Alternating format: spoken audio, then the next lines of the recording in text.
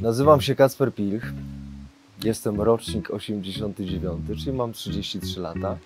Jestem aktorem. Skończyłem PWST we Wrocławiu na Wydziale Aktorskim w 2016 roku. Jestem emocjonalny i lubię to, jak mnie coś porywa, porywa moje emocje.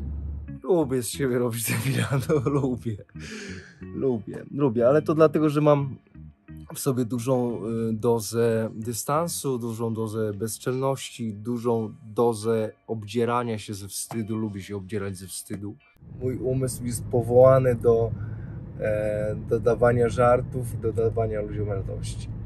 I wiele, wiele rzeczy w środku mnie po prostu cieszy i śmieszy.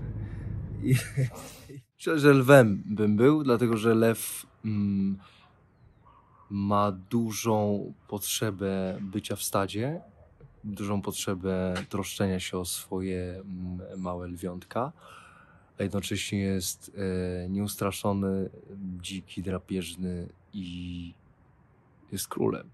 Po prostu jest królem.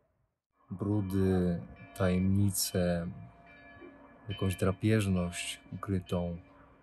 To lubię grać takie postaci, w których muszę spotkać się najpierw z tym, co jest w środku, żeby to wszystko się razem skomponowało z tym, co jest na zewnątrz.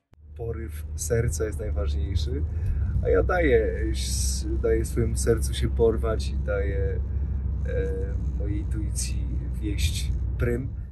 Kocham. Szczerze? Szczerze.